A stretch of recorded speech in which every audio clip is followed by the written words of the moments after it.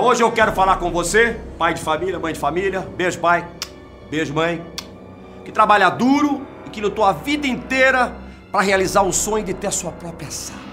Sabe assim, uma salinha só para você? Seu próprio telefone, sua própria placa com o seu nome escrito diretoria. Olha, você vai sentir essa indignação junto comigo hoje. Porque tem agenciazinha por aí em que a diretoria divide a sala porque quer. Porque ela gosta de ficar misturadinho. E o pior, hein? É na cara de todo mundo. Mas roda VT. Nas outras agências que eu trabalhei, cada um tinha uma sala. Aqui não. É todo mundo junto. E quem fica na sala? Ah, tem dois VPs de criação, um de planejamento e, e diretor de criação digital. E como é isso? Ah, fica um entre sai, um troca-troca de ideia. Não é possível. Não, não é possível no que eu tô vendo. Não, isso não é possível. Eu devo estar vendo outro filme. Olha essa gente toda aí.